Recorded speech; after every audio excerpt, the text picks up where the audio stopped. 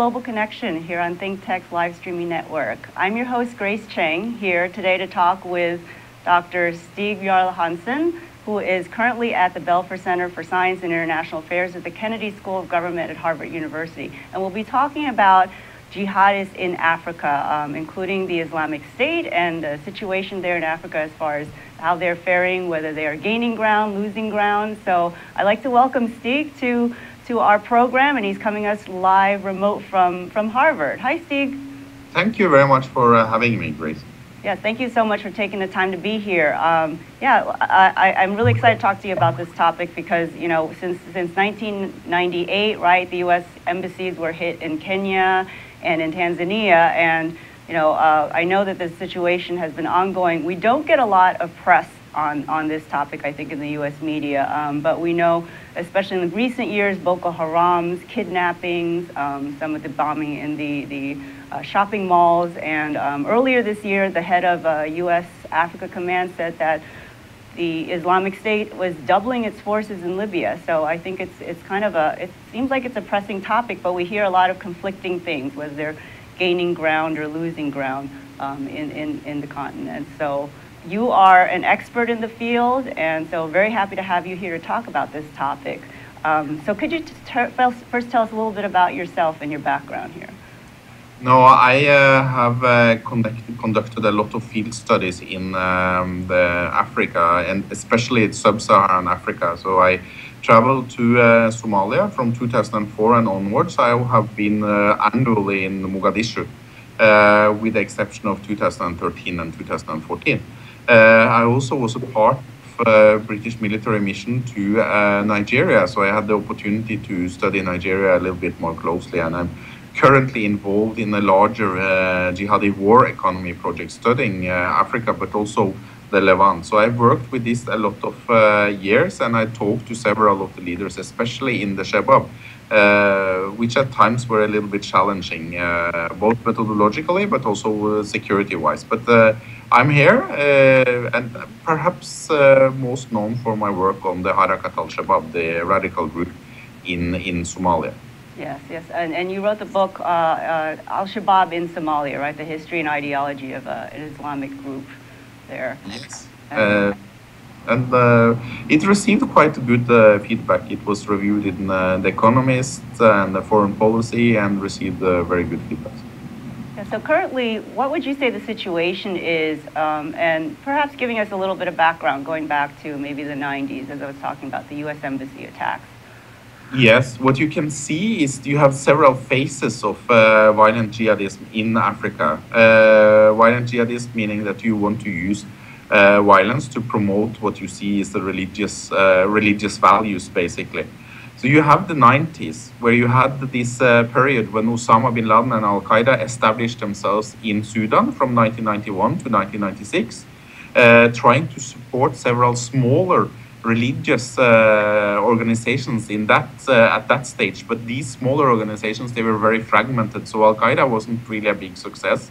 Uh, al-qaeda was also following the sudanese foreign policy. So to a certain extent it was kind of a, a, puppet or a tool that sudan used to further its uh, foreign policy goals so you had a close relationship between sudan and al-qaeda in that period but in 1996 osama bin laden moved away uh, and uh, what remained in Africa uh, since he fell out with the Sudanese authorities was more or less small networks. And these networks, they were based in East Africa, and th those networks were really hitting then the uh, embassies in Nairobi and Dar es Salaam.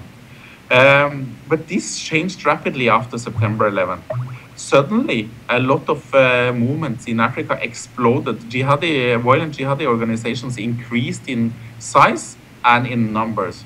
So you will suddenly have the uh, Boko Haram emerging in 2003. The interesting thing with the Boko Haram was that from 2003 to 2009, it was actually legal and in some cases even supported by the regional authorities inside the province, the Borno province, when they were active. So they had some support from the Nigerian government, which is very interesting.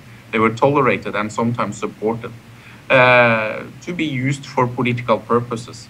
At the same time, on the other end of the continent, you had the Shabab, you know, created in its first, uh, first, uh, first uh, stages in 2003, 2004 in Somalia as a small network, but then riding piggyback on the Sharia courts of Mogadishu in 2006 and starting up uh, really in uh, 2007 as a clearly independent movement.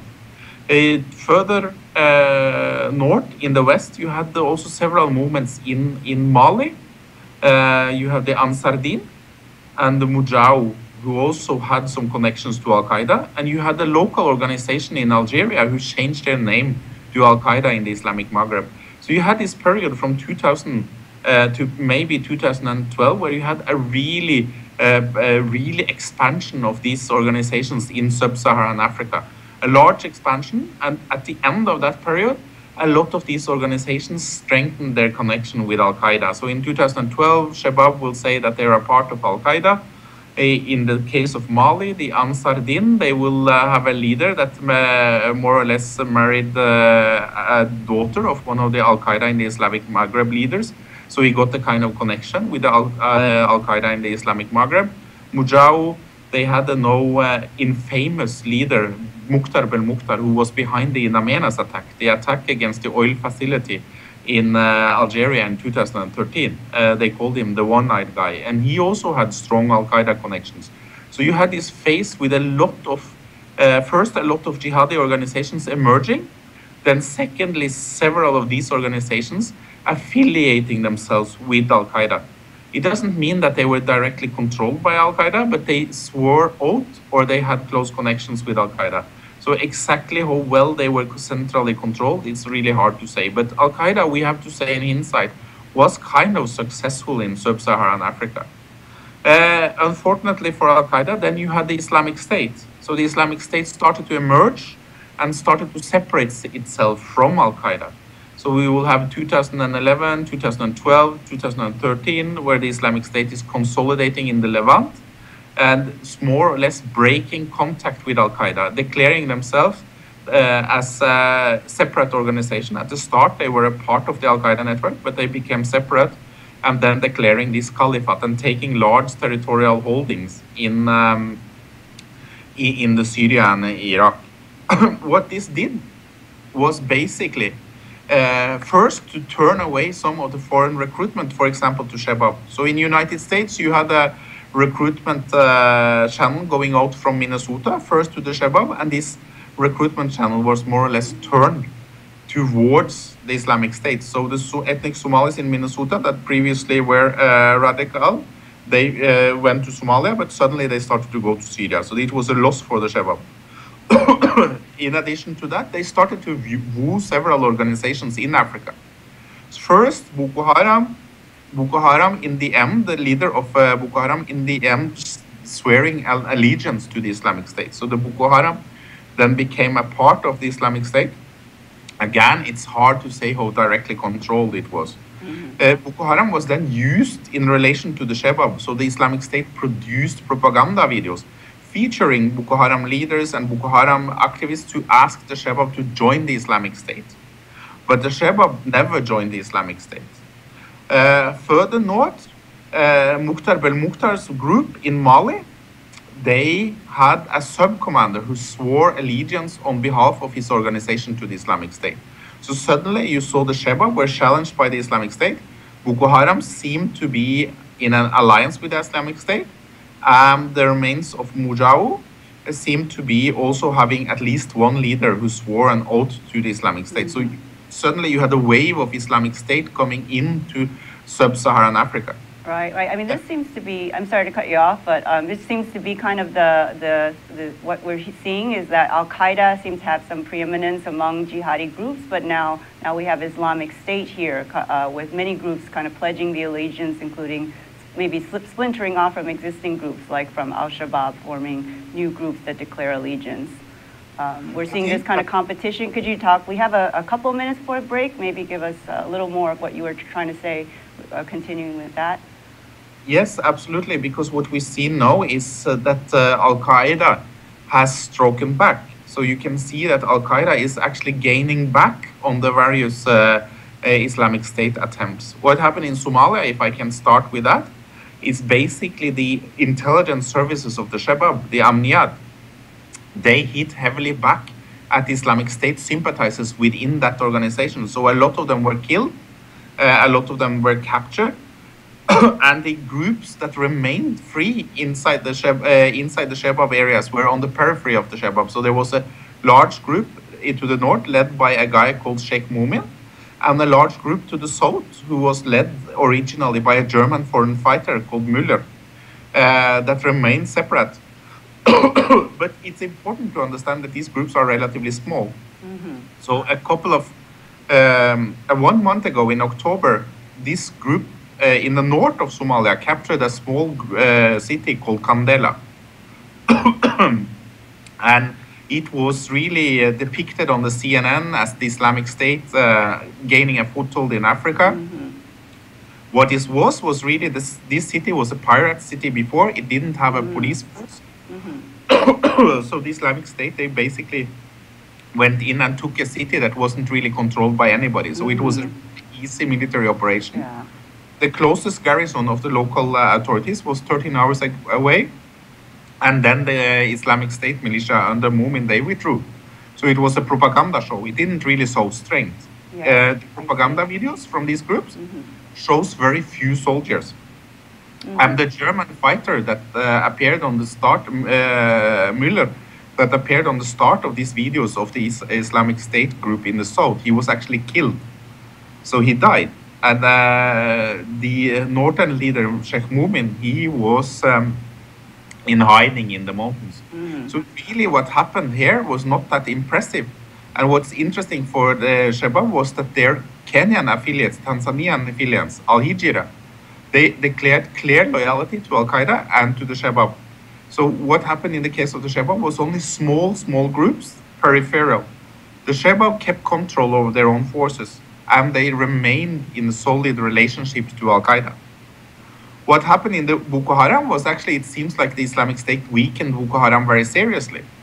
You know, Boko Haram took some hits because of uh, a new military offensive from the neighboring countries involving Chadian forces, involving Nigerian forces, uh, that defeated them a lot in the battlefield. But in addition to this, the son of the founder of Boko Haram, he declares himself the new leader of what they call the Western uh, pro, uh, the West African province of mm. the Islamic State. Mm-hmm. And the old leader, the infamous Abu Bakr Shekau, uh, said that this was wrong, that uh, al-Baghdadi and the Islamic States, they uh, outsold him. They tried to take control over his organization and that this could, would lead to a fight and he will uh, be prepared to maintain control over the organization. Okay. So the split in Boko Haram, it's split into two. And mm-hmm. for now, it seems like the old part, the Abu Bakr uh, Shekau part, actually is the most powerful. And they now have declared themselves against Baghdadi. Uh-huh. Okay. Um, that, that's really interesting. So it's, it's really not, it, it's causing a bit of a split. And let's talk about this a little bit more after we come back from this one minute break. Thank you for that great background and overview of this, all of the groups throughout the continent. Um, we'll come back in a minute and, and talk more with Stig Hansen about jihadis in Africa. Stay tuned. Hello, I'm Marianne Sasaki. Welcome to Think Tech Hawaii, where some of the most interesting conversations in Honolulu go on. I have a show on Wednesdays from 1 to 2 called Life in the Law, where we discuss legal issues, politics, governmental topics, and a whole host of issues. I hope you'll join me. Hi, I'm Chris Leatham with Think Tech Hawaii, and I'd like to ask you to come watch my show, The Economy and You, each Wednesday at 3 p.m. Aloha, I'm Kirsten Baumgart Turner, host of Sustainable Hawaii. We live stream every Tuesday from noon to 12:30, and you get a chance to hear what people are doing about sustainability in Hawaii and what the issues are impacting all of us in all the islands. Join us, please. Hello, this is Martin Despang. I want to get you get excited about my new show, which is Humane Architecture for Hawaii and Beyond. We're going to broadcast on Tuesdays, 5 p.m. here on uh, Think Tech Hawaii. Hi, welcome back to Global Connections. I'm your host, Grace Cheng, here talking with Stig Hansen of the Belfer Center for Science and International Affairs at the Kennedy School of Government at Harvard University. And we're talking about the Islamic State and its situation in Africa uh, as far as what, what the, whether it's gaining ground, losing ground, and also covering you know, this, this recent history of the jihadi movements in, on the continent. Welcome back, Stig. Thank you.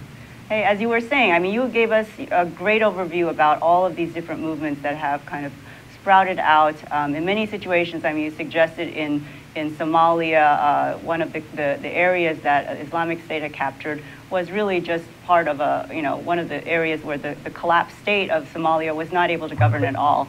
So, I mean, many, you know, we have many different reports in the in, in sense of like, you know, it, it seems that a lot of these incidents are very sensationalized. So we have a big kind of sense that, that uh, these groups are really gaining ground and expanding. Um, I think earlier this year, the Senate had heard um, some testimony that there are more deaths from this kind of violence in Africa than in the Middle East. Um, but there are other sources that say that, yeah, a lot of these groups are losing ground. And as you were talking about before the break, um, this introduction of the rivalry between Al Qaeda and, and Islamic State has kind of uh, weakened groups, splintered them, and caused some internal rifts. Yeah, I think uh, that's that's what's fascinating with the Islamic State. You know, I won't say that they made a large inroad into Africa.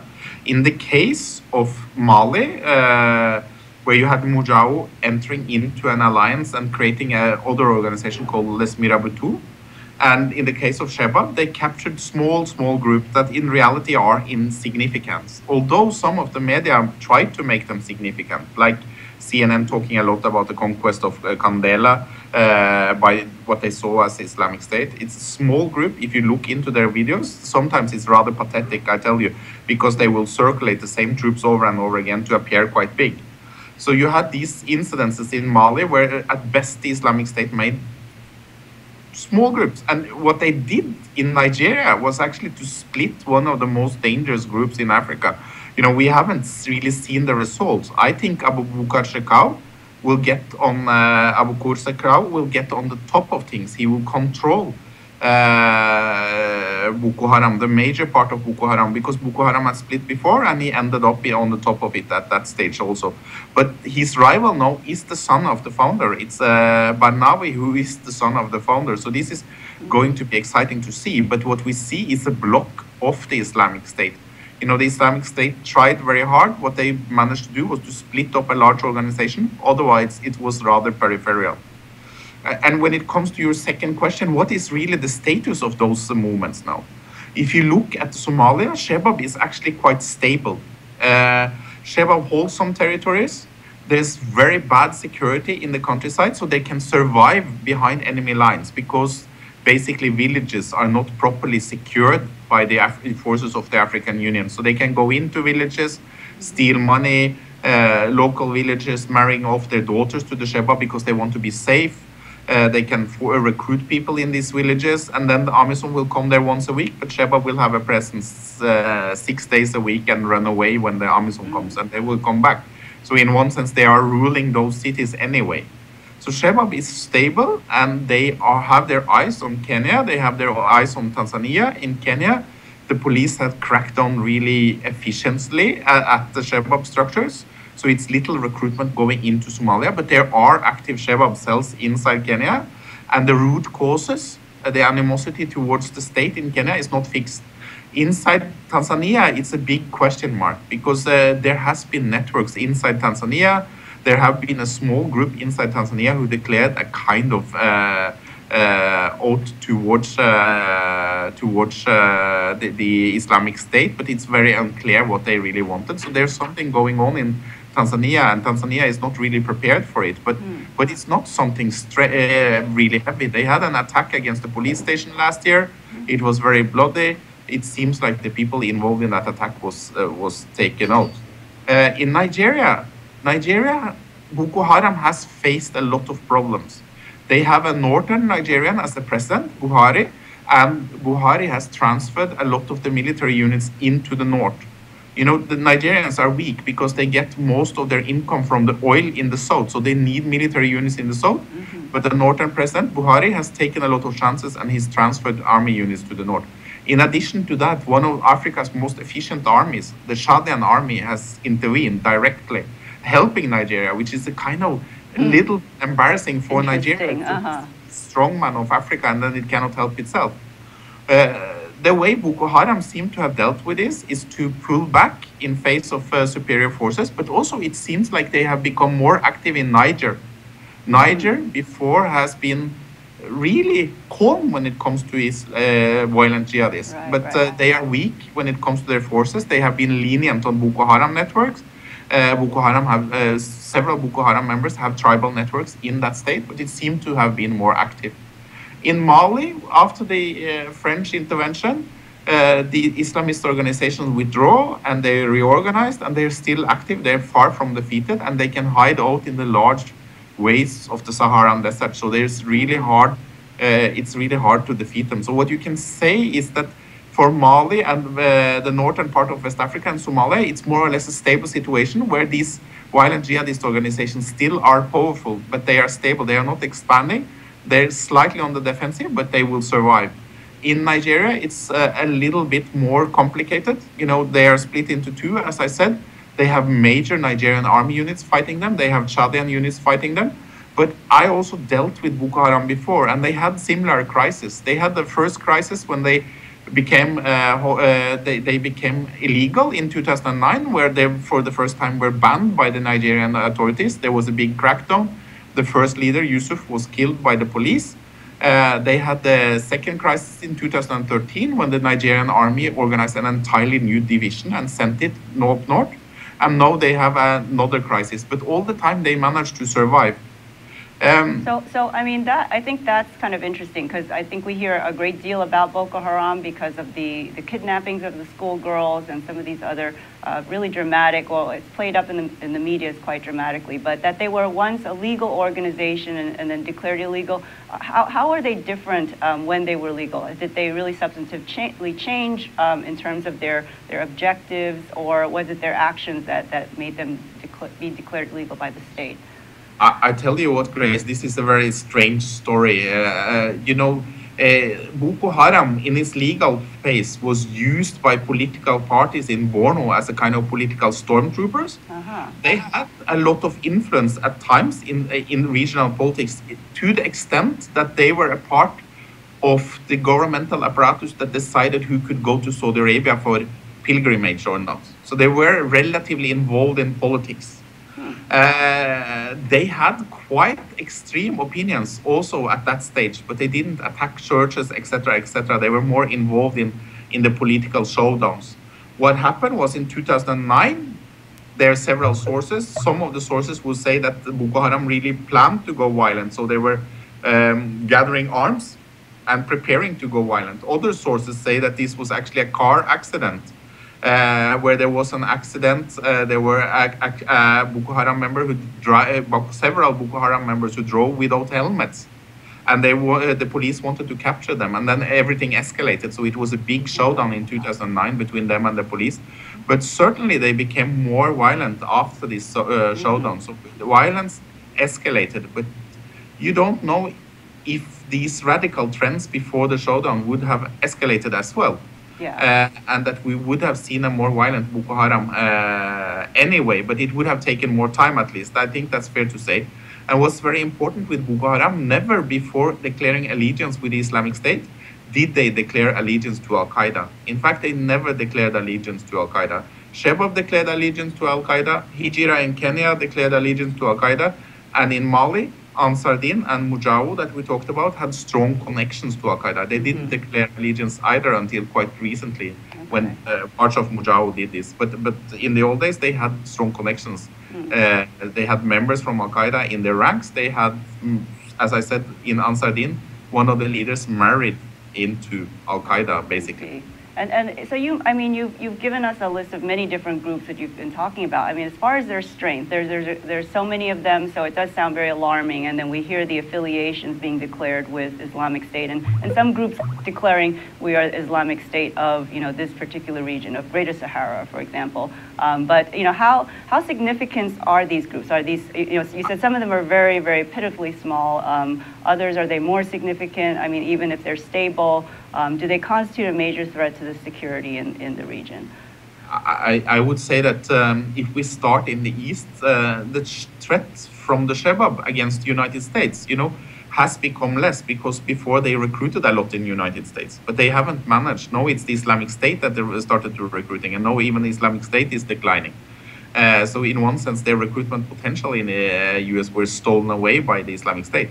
But mind you, and several of their videos, they have listed potentially American targets and uh, said that uh, if you cannot come to Somalia, you hit in the United States. So they are encouraging attacks mm. inside the United States. But I don't think they will plan attacks in the United States. I think their focus is regional, and they always did that. They always hit regional targets, and they prefer to hit uh, uh, targets in the countries that are involved in the African Union inside Somalia. So, but mind you, when they do this, that's tourist targets as well, and they mm-hmm. might hit Westerners when they attack those tourist targets.